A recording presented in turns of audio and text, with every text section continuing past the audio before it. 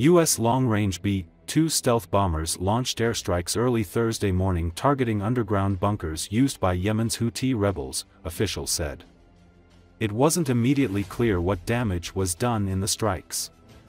However, there are no previous reports of the B-2 Spirit being used in the strikes targeting the Houthis, who have been attacking ships for months in the Red Sea corridor over the Israel-Hamas war in the Gaza Strip.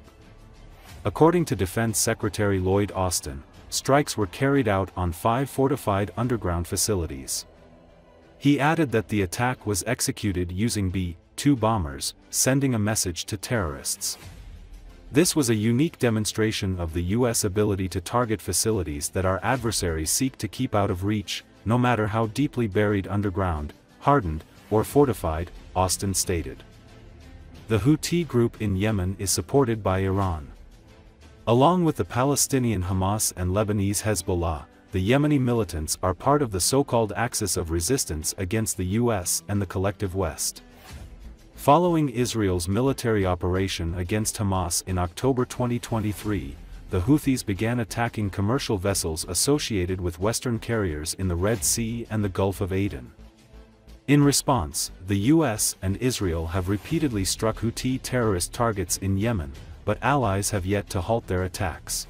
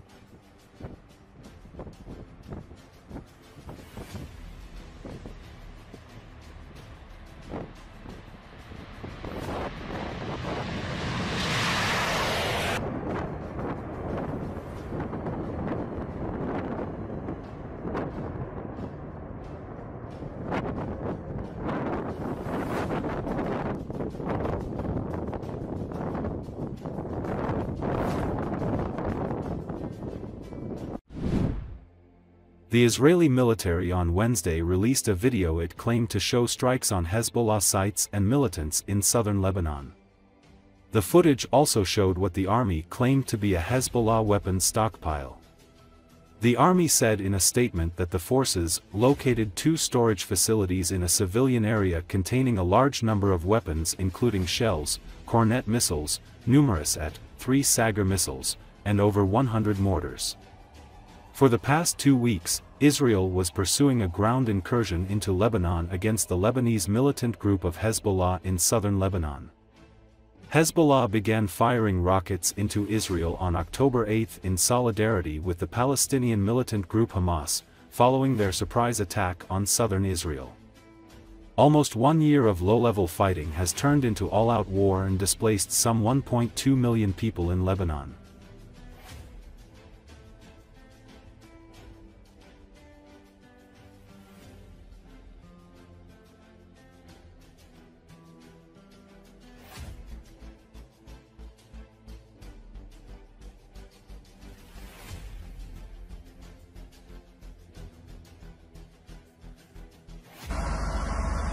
כנסת הבית, בית של אזרחים, ולמטה מחסן אמל"ש גדול.